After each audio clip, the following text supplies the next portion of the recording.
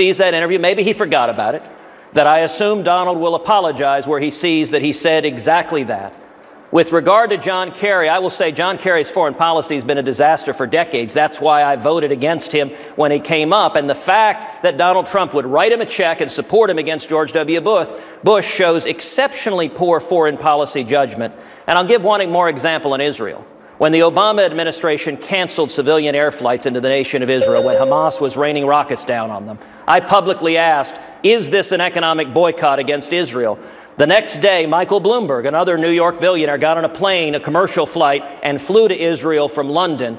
Together, the heat and light that was put on the State Department was so great that within 36 hours, they lifted the ban on air flights into Israel during that entire battle, and indeed during every battle on Israel, the natural question is where was Donald? If this is something he cares about, why has he supported anti Israel politicians from Jimmy Carter to Hillary Clinton to John Kerry for four decades? If you care about Israel, you don't write checks to politicians who are undermining Israel. Instead, you stand and support the national security we of have, America we have and a the alliance. point. There's a critical point that needs to be made here. You, Governor, look, Gov- I, I've, Governor, he attacked, he attacked Mr. Trump. Mr. Trump has a right to respond.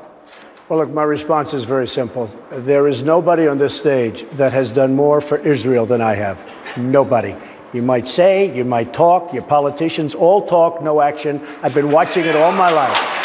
There is, you are all talk and no Name one action. What I've thing you've seen done. up here, I mean, first of all, this guy's a choke artist and this guy's a liar. You have a combination. This guy always goes- you have a you have a combination of factors.